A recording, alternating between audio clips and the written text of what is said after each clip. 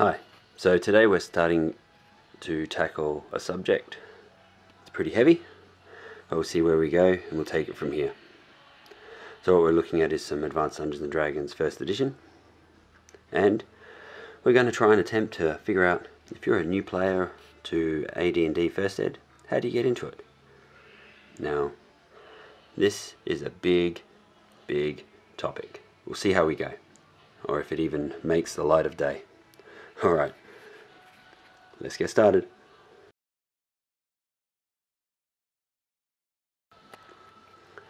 Like all games in D&D, the first thing you need are books. Ideally, these three books. Dungeon Master's Guide, Player's Handbook, Monster Manual. As many dice as you could muster. More than that. Pens and paper, pencils, rubbers, rulers, graph paper, and a few modules. But before all that starts, you need to work out why you're playing. Especially in the modern era where you've got 5th edition which is so much easier to pick up and run with for the uninitiated player. This is going to be something that's, I'm assuming, is someone who's interested and wants to get into 1st edition, doesn't know how, and doesn't know how to get into it, jump into it, run with it, but has some experience with 5th ed and at least an idea of role-playing games in general. If you're brand new, totally uninitiated, and never seen a role-playing game in your life, this can get messy. So, this isn't going to be a fifth versus first, but it's very much this is how first ed runs, and this is what you need to remember when you're playing it type of type of video. Alright, so let's start from the top. You need players, you need a DM, and that's pretty much where it starts.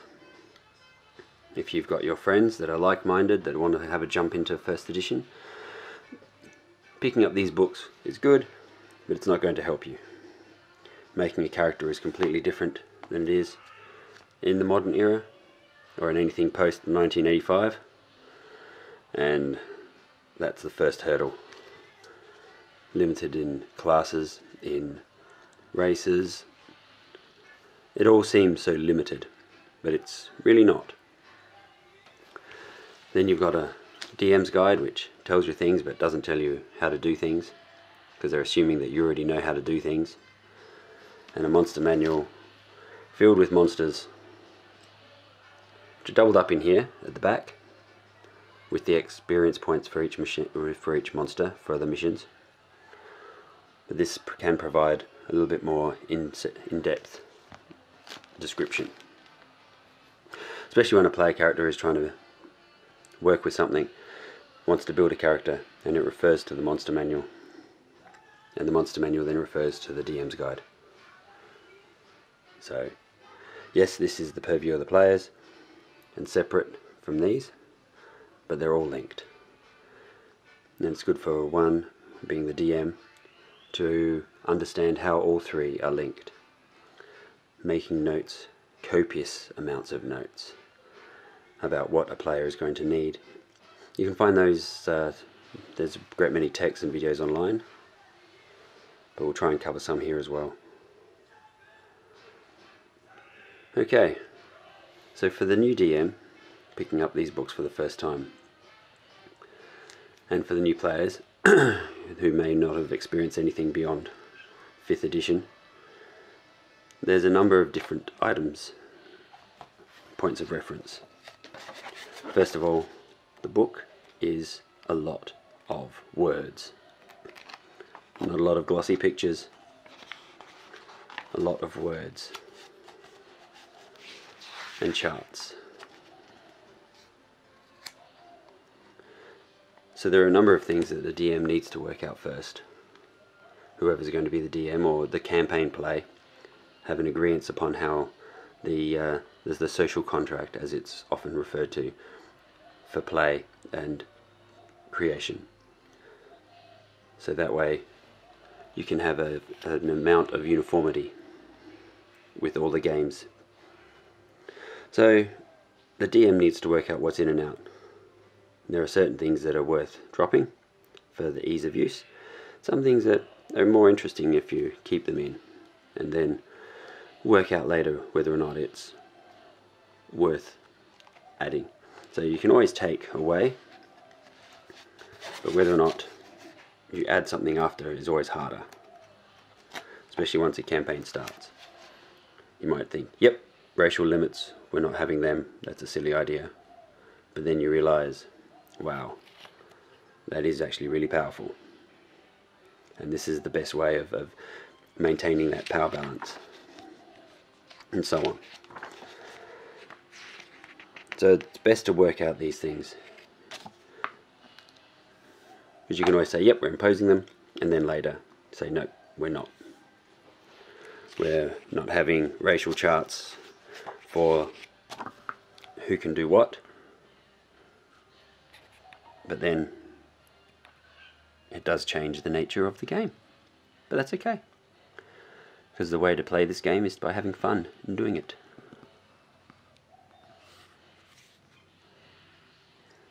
Alright, so I've made up a quick list of items, points of interest that need to be addressed first of all. And we're going to go through some of those. Okay, thank you.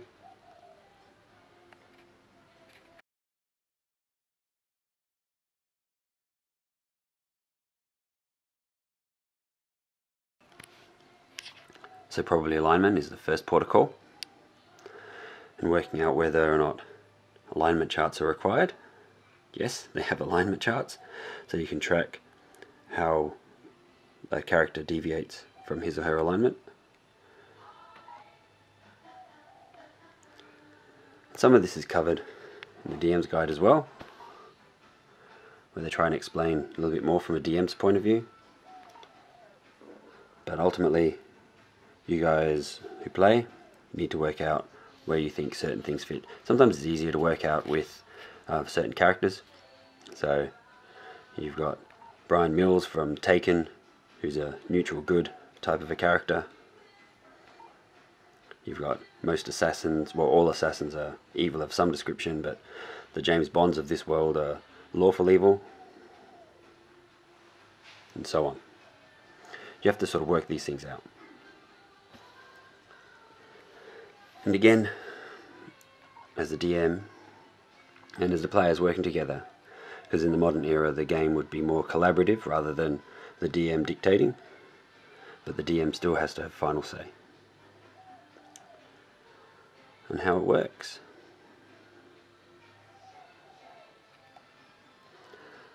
So with alignment you also get alignment languages.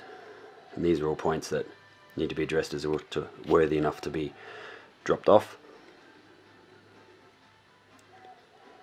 But uh, again, this is where something like having deities is really important because you've got people who follow a deity will live to the code of that deity. And then, you know, when you're thinking about the medieval era, everyone worshipped something. It wasn't common, especially in a game like, in a universe like uh, Dungeons and Dragons where the gods do walk the earth demons and devils and monsters do exist. You can try to not believe in them as much as possible, but they do, and they do have an impact. So alignment, alignment languages, probably the first things need to be dealt with.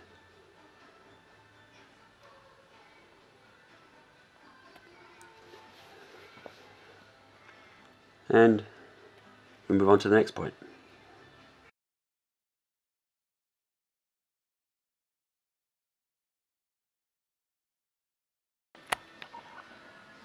So the next thing to think about is experience and gaining experience levels. There are some character classes, such as the Thief, that progress considerably faster than others, and some that are quite slow. Paladins and magic users being among that list. So level progression is something that's important to get through, especially for the lower levels. Uh, as on paper, they need to be tutored by classes of the same, uh, at least several levels higher. And as well as uh, a gold piece as of um, 1500 gold pieces per week. And it's one week per level so on. So spend a lot of money spend a lot of time.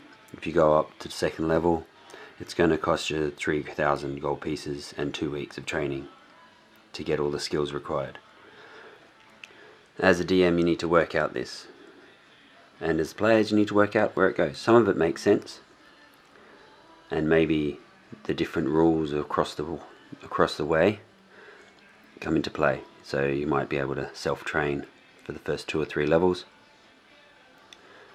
But then after that, needing a tutor of at least 7th level and so on. And then generally once you get to what's called your name level, such as ninth level for a paladin, you no longer need tutelage, it's just spending money and time practicing.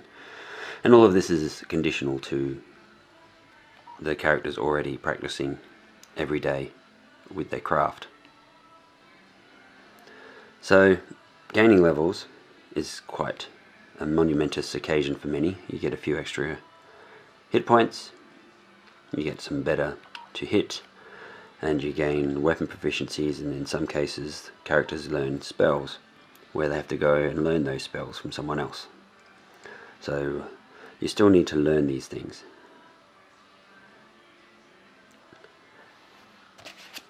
And with characters that have almost powers, they improve and get better because you have to be a good paladin, not just good, but you need to be a good paladin. And if you're a fighter, you have your own benefits that come through. So it's understanding where they where that travels. So part of the level leveling up experience is the required number of experience points. So remember, an orc would have approximately 13 to 15 experience points per orc. And this is where experience points for gold and treasure and magic items needs to be worked out as well. You could have one one mission where there's lots of gold and the experience points of gold to XP value is 1 to 10.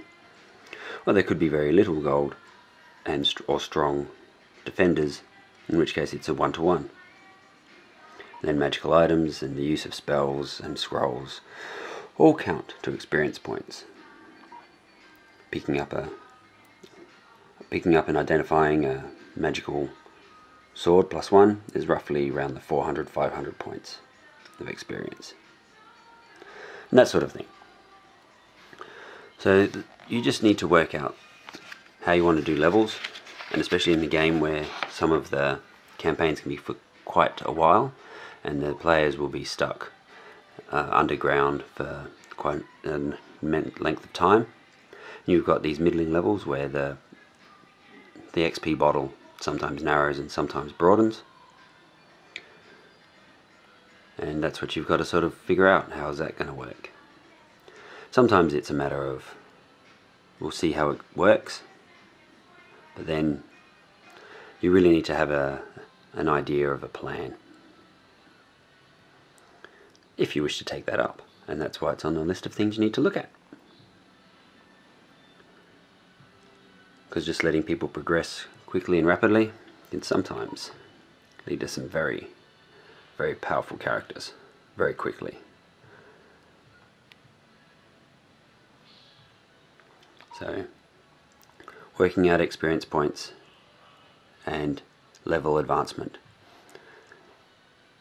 That's another one of those little nuances.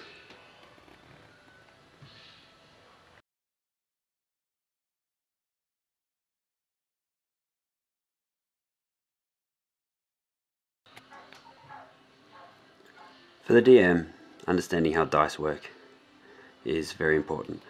I don't just mean understanding that you roll and there's a value, but knowing what 3d6 does as an output versus rolling 4d6 discarding one.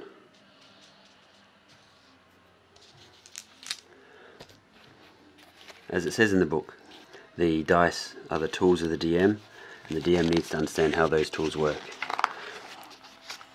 The infamous bell curve for 3d6 flat 3d6 and then of course that gets skewed pushing everything over this way.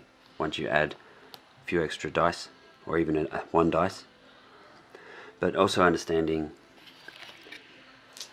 how the percentages work. So a 1 in 6 is about 16% obviously a 2 in 6 is one third. The d8s run in 12.5% and then you've got the d10s which are 10% and so on so when someone has a percentage chance of doing something, you don't always have to roll a d20, you can sometimes roll a d8. And that gives you more of an idea of, of the chance of something happening or what effect that has. First edition D&D is a game with less rules defining outcomes but more interpretations and judgments. So you might want to do something, a player says, I want to do something. They still need to succeed at it, but how well do they succeed? You might roll a d10 and then decide, okay, that's how many rounds it's going to take. And take eight rounds. Or they might have something in d12 chance because of the the nature of the 12s, and so on. So it's not always about success and failure. Sometimes it just has a, a, measured, a weighted measure of outcome, which is important. And as it says also, something like falling, 1d6, but it can go up to d8 if there are hazards at the bottom, or even as high as d10. And that's every 10 foot so there's nothing that's hard and fast about a particular rule. And there are plenty of areas where there's a throwaway line where they talk about but you can change it on this instance.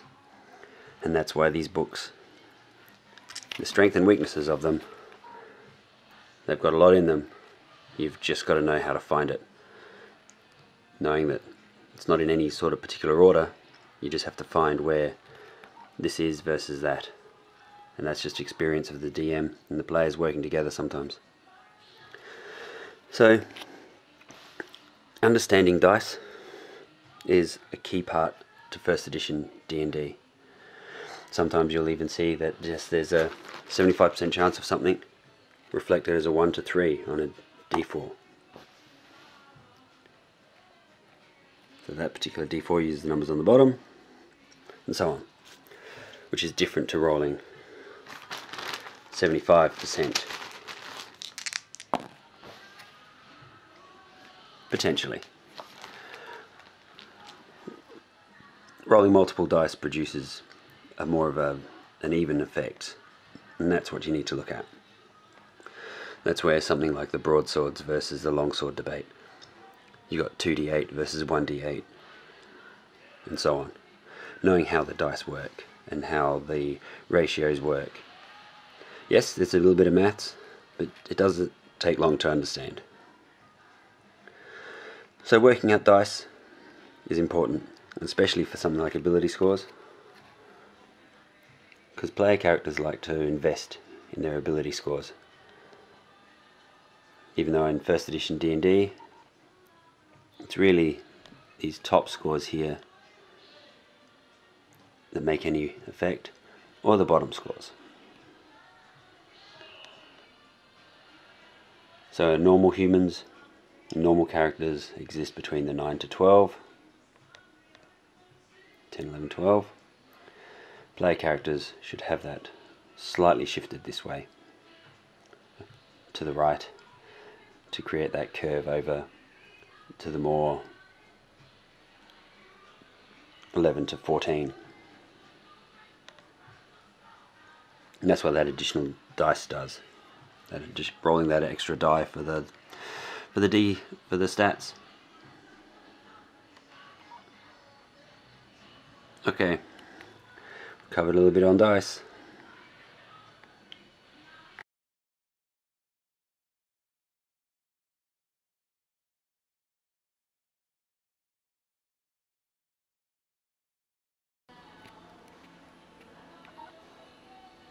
On the question of Psionics, don't do it.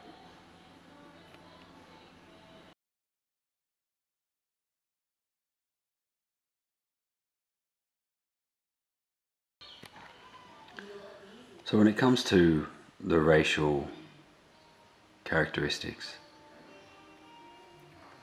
there's a temptation to say, let's remove them all and give everybody whatever they want. But demi-humans are already rather quite powerful and dwarves and half-orcs particularly with 19 constitution again potentially up to plus five hit points per level can become rather overpowered. And these take these charts here take into consideration the racial preferences for and personalities for particular classes and professions. Elves, they love magic and are proficient with magic. Half elves like humans, touch of everything. And it also comes down to who's been trained for what. So the human, the benefit of the human is that the human can be anything to an unlimited level. So you'll only get humans or classes of over 12th level, 12th level or higher, that are human. And some of that becomes apparent when you look at the different classes. So the they gain specific bonuses of once they get certain levels, and that's where the humans gain an advantage in the long game, as they've got some of the shortest lives. Elves live for thousands of years, 1500 years. So they can pretty much just sit back and do anything. And so part of their level limitations are included with their lack of focus.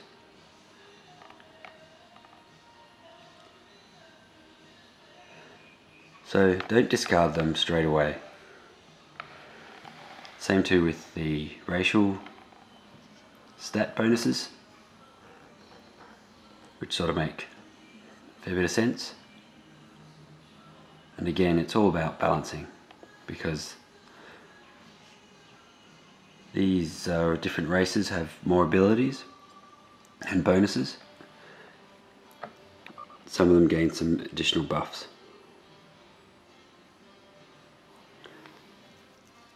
So especially races like the elf.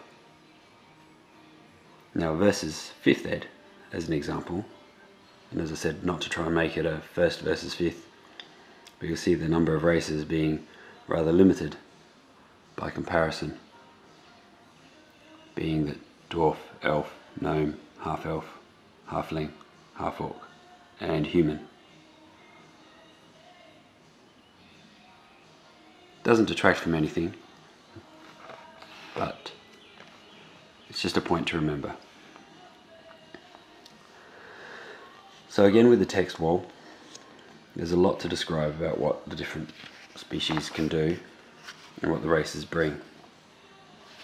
And that's not so much something that the DM or the new players have to think about, but it's just if you've got a fifth ed mentality or mindset, then there are certain things that make it different. That's one of them.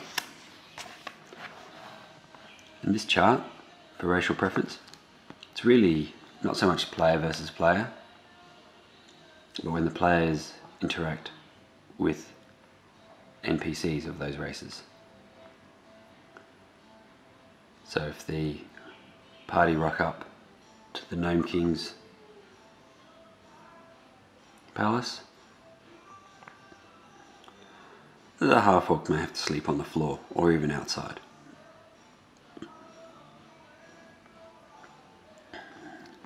And that's pretty much how it works. Some races just sort of get along, go along to get along. And others kind of don't.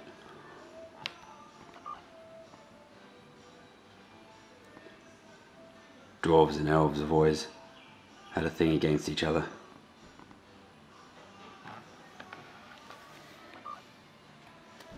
And the next step is about classes. The big thing with classes is really about weapons, the weapon limitations, and armor. And again, a lot of it's to do with balance. So, one of the points to remember is if you decide, nope, anyone can use anything, then what are you taking away from one class as a benefit? So the fighter that can use any armor and any shield and any weapon, and then you say the cleric can use any armor, any weapon, any shield, and they have spellcasting and they have turning. Suddenly people think, whoa, why am I being a fighter? And so on. So some of it's to do with a bit of uh, balancing, game balance. It's not intentionally meant to detract from anything. And hit points. So the last point of all of this is just about hit points. What happens when you roll that one? And what should you do when you roll that one. That, that's what the DM needs to think of next.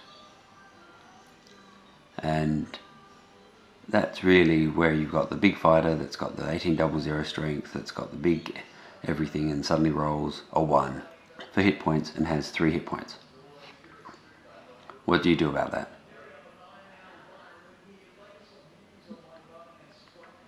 So it's not that there's nothing to be done. But the DM just needs to be aware and be ready to adjust. If everyone has maximum hit points, then the challenges need to be increased or changed to adjust. And conversely, if the, the players have less than average hit points, then the challenges need to be decreased or changed. It's just the way it works. For the maximum enjoyment for everybody and to maintain game balance.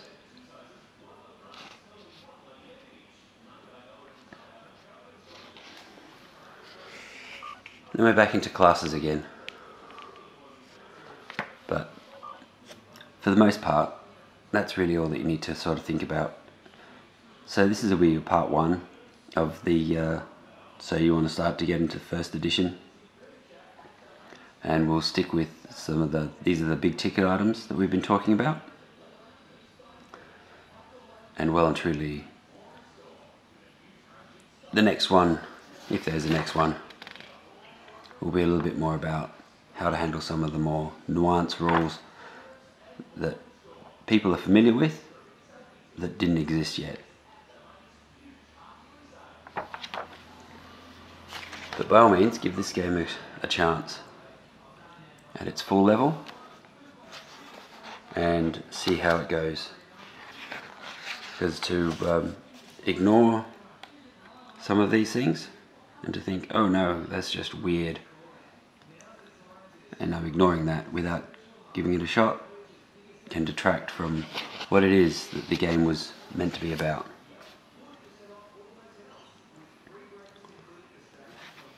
We haven't even talked about equipping the characters, but maybe we'll do that next time. Alright, so this will be part one. We'll get part two up and running as soon as possible. And thank you for your time.